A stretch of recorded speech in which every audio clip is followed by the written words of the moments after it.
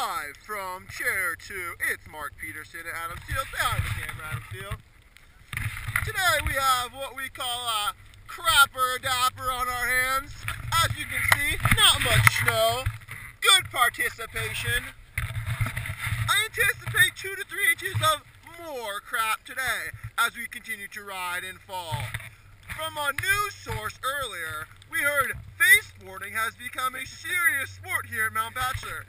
More on this is special alligator, special alligator instigator Adam Steele. There's been a lot of faceboarding, go, faceboarding going on, mainly by younger younger children, inexperienced people, and uh, people are just going a little too hard. So be careful out there and don't hit any trees.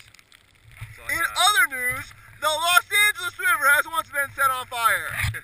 Back to you.